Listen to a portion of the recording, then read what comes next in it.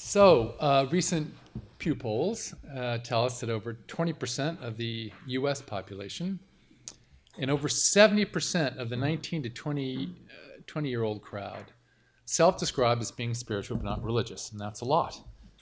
It's pretty significant, and it certainly perks the interest of scholars of religion.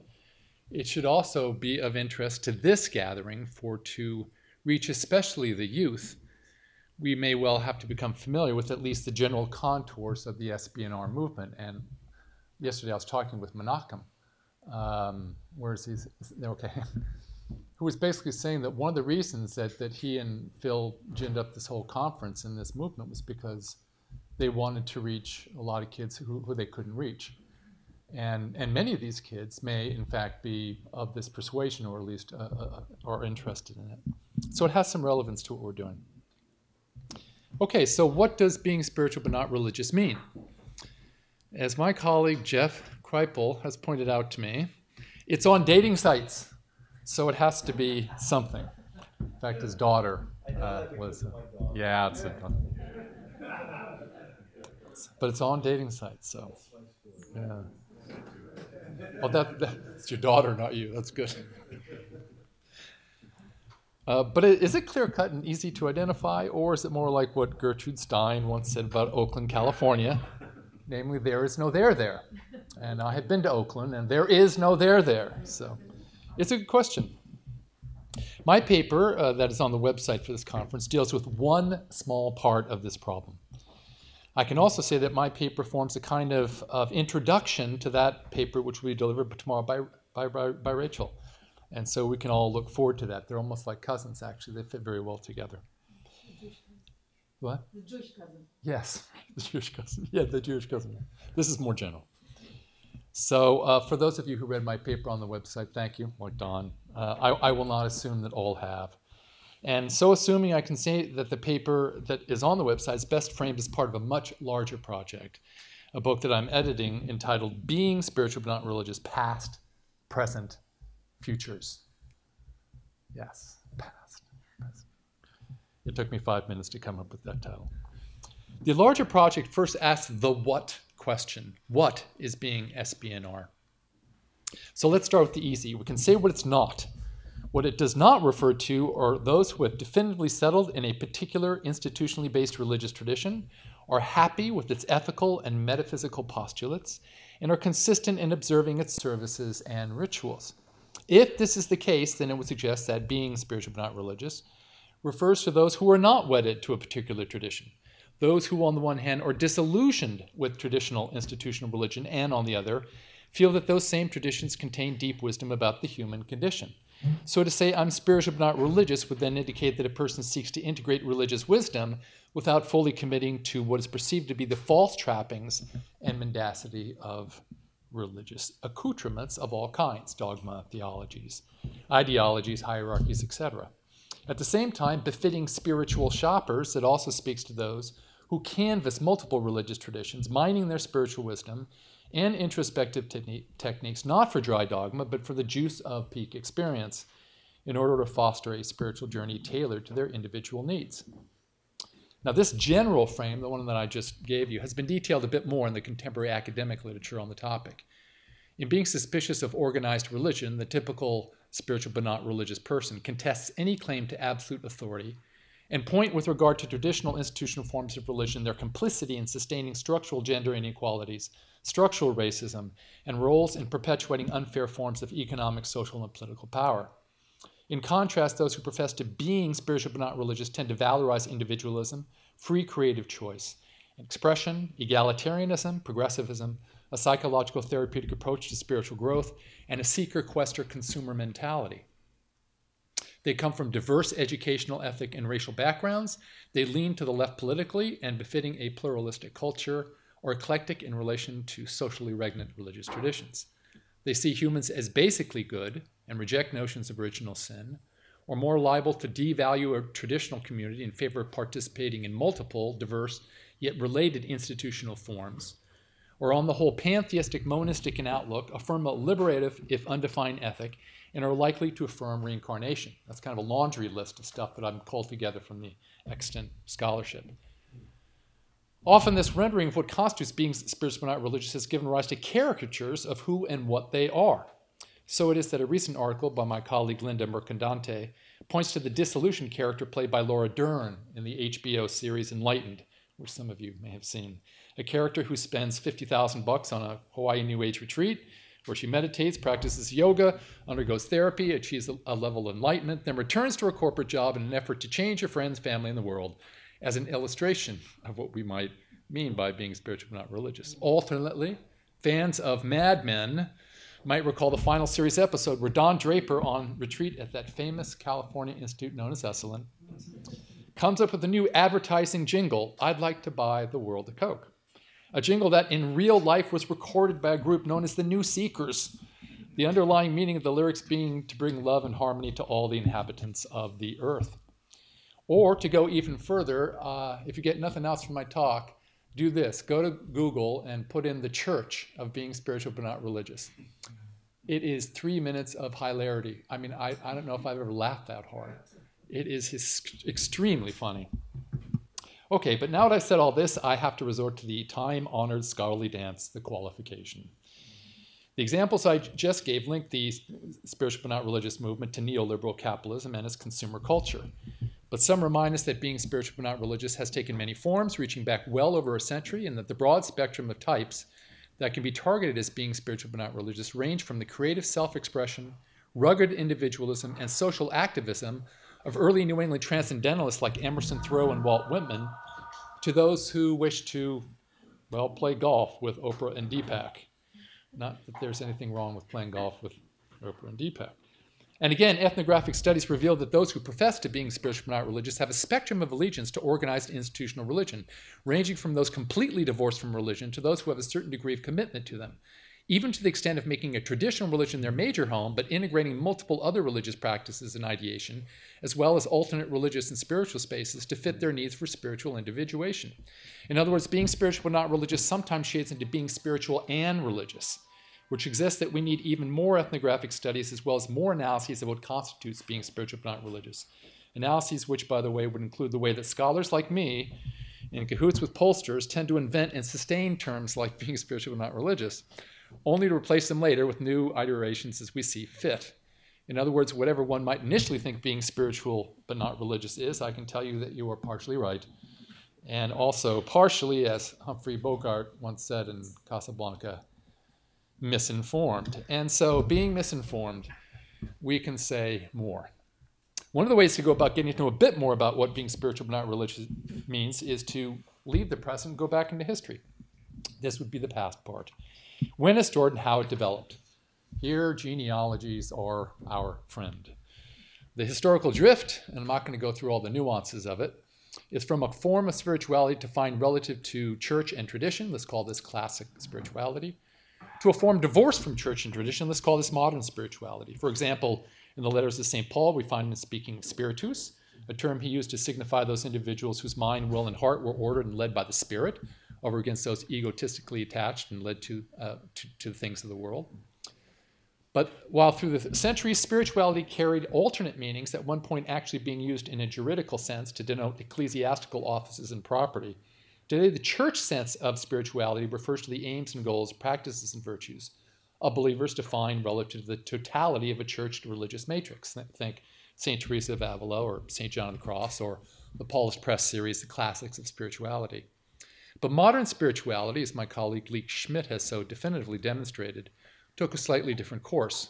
It was those pesky liberal religious traditions, transcendentalists, Unitarians, Quakers, their values, individuality, solitude, inner silence and meditation, ethical reforms, creative self expression, and their consummate figures, people like Emerson, Whitman, Thoreau, Howard Thurman, Rufus Jones, Margaret Fuller, who produced through a variety of cultural mechanisms a specifically American version of spirituality.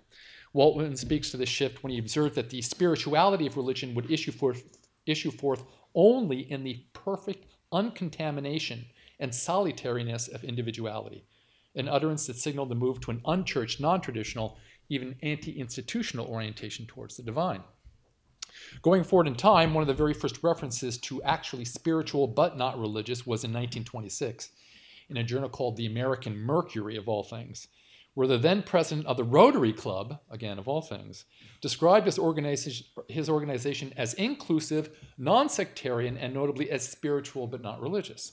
That was mirrored in 1934, and again, of all places, the Washington Post, in an article about the great Lusitania shipwreck, an article that described various models for memorializing the lives lost as, quote, spiritual but not religious.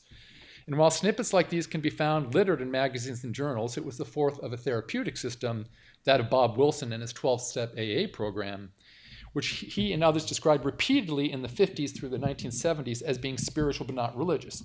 That was really the major force behind the popular dissemination of the term. And so that it would get Ellen Burstyn's character in the 1980 movie Resurrection, a character who has a near, a near death experience and subsequently gains paranormal powers, being described as spiritual but not religious. And in 1985, Norman Lear, of all people, describing himself as, quote, a spiritual but not religious Jew. And again, in the 1989 LA Times Personals ad, a woman describing herself as, quote, a lovely Eurasian woman, spiritual but not religious, believes love is the highest expression of the human experience. When in 1990 the moniker spiritual but not religious was taken up by the Gallup poll, being, becoming one of three options for describing one's beliefs religious, spiritual but not religious, or neither, with 30% choosing spiritual but not religious. The die was cast. Spiritual but not religious was here to stay, which is to say, perhaps the entire concept of spiritual but not religious really was invented by pollsters and, and scholars in cahoots, or at least partly. So there are clearly other forces besides the, gene- the brief genealogy I just gave you. What we're looking for are those cultural forces that might cause not just a few individuals, but whole groups of them to become suspicious of and to withdraw from the traditional ways in which institutional religion asks us to demonstrate our commitment to the divine. Now, that is an impossible task to isolate all those cultural strands and see how they engage in kind of an elective affinity and, and morph together to create the uh, hegemony of spiritual but not religious. Uh, there is some literature on that.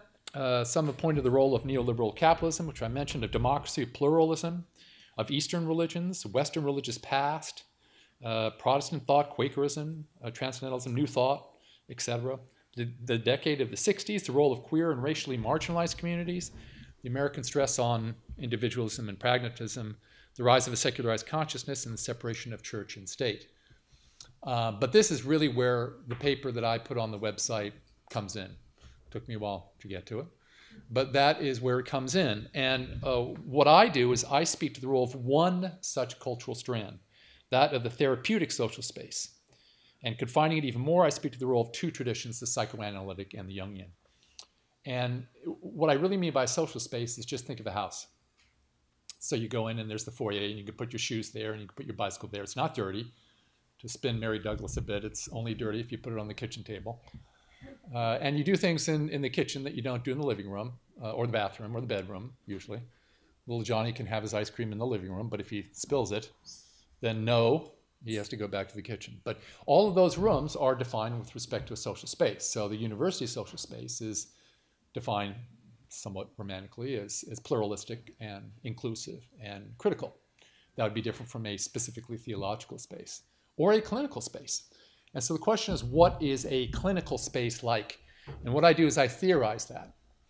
And so what I do basically is I call attention to the fact that these these spaces are uh, somewhat like Victor Turner's liminal space. That the double doors of the psychoanalytic or Jungian therapy session, they're in traditional sense, they're double doors. You open one, then you open the other, close them.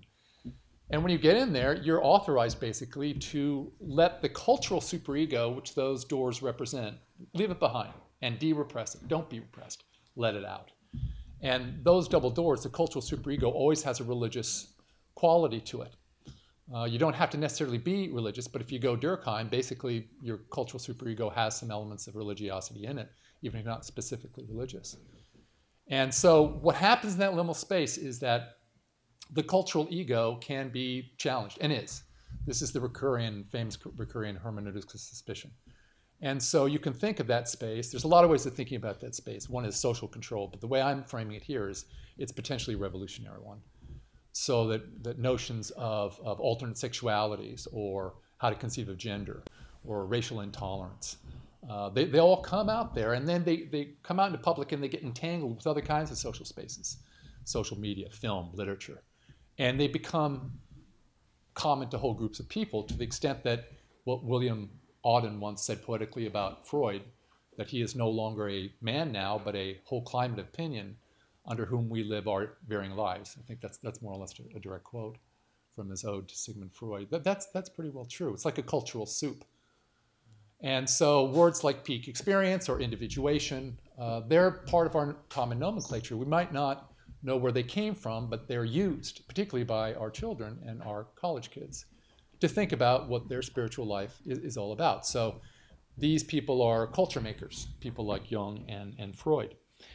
And so what I do in the paper is to theorize that. And what I say is that the Freudian tradition, although it's not as clear now, but in, in, in, the beginning, really, really looked at um, the ways in which uh, class and gender and uh, sexuality and power gets projected onto religious narratives. So it's really not about the divine, it's about us. And it deconstructed that. And so people began to see it and said, well, wait a minute, that's not, has nothing to do with the divine, that has to do with bunch of people who just uh, want to control us. So not going to go to, the, to that church or that temple or that mosque because it's, it's not really religious. And, and, and most of the psychoanalytic understanding of religion is like that, it's deconstructed. The Jungian tradition, on the other hand, is a little bit different. They're like, well, everything comes from inside. All those myths and symbols and uh, all those things, those are archetypical expressions, and then they're narrated and they're uh, captured by various kinds of social institutions, and then uh, but they're really about, about the archetypes. So you can actually have uh, kind of unchurched spiritual experiences within a Jungian therapeutic setting. Uh, it authorizes those. So in combination, in various various ways, I think it's very complicated. They've given rise to this this deconstructive move on the one hand, but also this this progressive, um, positive move, even though it's it's non-traditional on the other. And um, uh, the extant literature seems to show that this is case. This is this is true.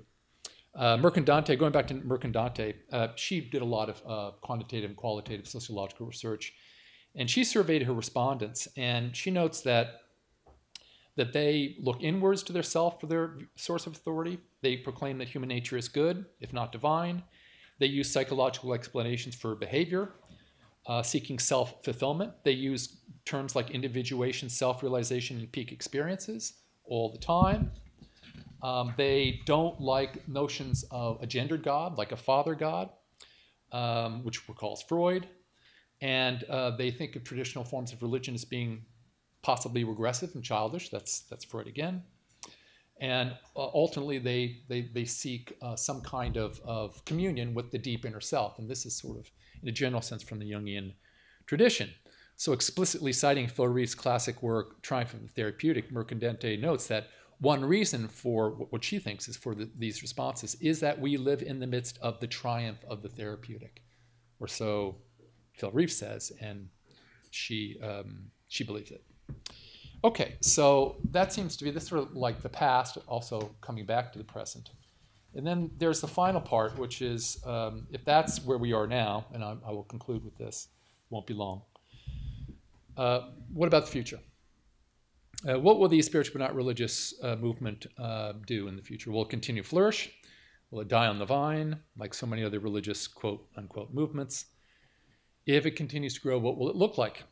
And that's where I think the scholar can put on another cap, that of the public intellectual. If the spiritual but not religious movement is somewhat nebulous, can we step in and help form it? Um, for one thing, uh, we're, we've definitely said a lot about what's wrong with it. Uh, that's in the books. Uh, again, summarizing literature, studies have brought up all kinds of concerns, issues, and debates.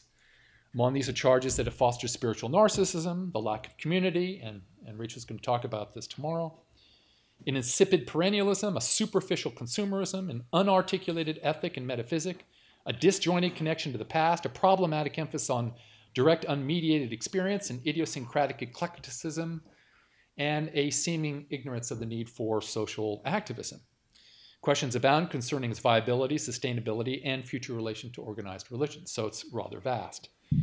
So, in going back to my paper again, I target just one aspect of that, which is spiritual narcissism, and I engage the book by Jeremy Carrette and Richard King in their book Selling Spirituality, which I'm sure a lot of you have read. And I don't disavow the merits of their argument. I know Jerry pers- uh, Jeremy personally quite well. But I do claim it's one sided. And it, it's not uh, actually based in empirical data, which they apparently don't know of. Um, but I found it, and it's out there. So I don't know if they ignored it or I haven't talked to Jeremy. Probably not nice of me for to say that about him uh, without him being able to defend himself here. But but they don't cite it. And if you if you find it, what you find is that that there have been some empirical studies that people have been to, through specifically humanistic forms of, of therapeutic intervention. I'm talking Maslow and his tradition. And the reason that's important is because is that is Carrette's big problem. It's really with Maslow.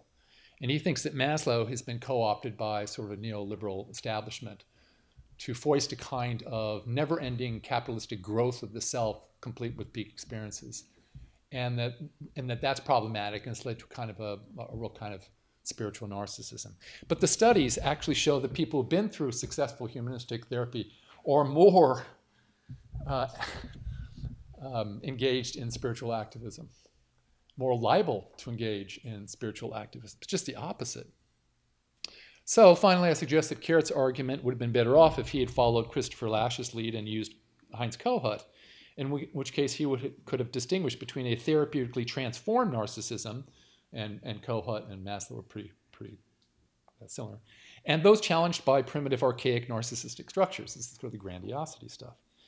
In other words, it's Kohut who gives us the psycho psychological models necessary for distinguishing the complex psycho-spiritual spectrum of those who profess being spiritual not religious, because I, I think it's complicated. So on it goes. Uh, whether the spiritual but not religious movement, perhaps it's more like a train without tracks that will go where the cultural soil leads. Maybe the soil is the track if I might turn into Phil Wexler and become a sociology of knowledge guy, which we'll only see in the future retrospectively. In any case, it sure, like, sure looks like the spiritual but not religious movement is here to stay. Thanks for listening.